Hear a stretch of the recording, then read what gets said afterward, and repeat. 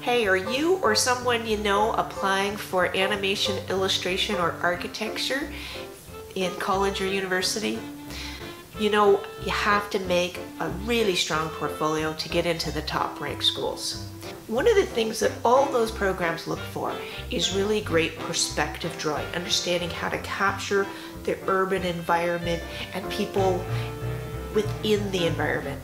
I'm Karen from Port Prep, and I've designed a unique learning opportunity with the award winning illustrator Werner Zimmermann, who hails from Sheridan and Seneca animation programs. He's an amazing illustrator of kids' books. I'm an architectural illustrator, interior designer, and design professor at major Ontario colleges.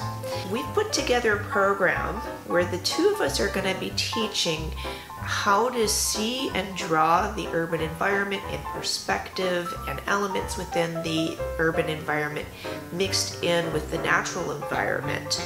And we've designed it so that anybody who needs to learn how to draw perspectives from vision can build their skills to make their portfolio.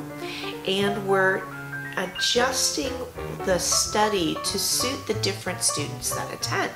So anybody interested in animation will be learning about layout design, um, how to stylize the environment appropriately for your environment layouts, something that's required in animation portfolios.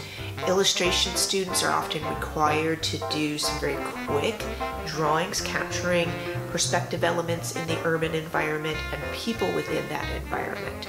And observing people in action, you know, in park-like settings and things like that, capturing that life.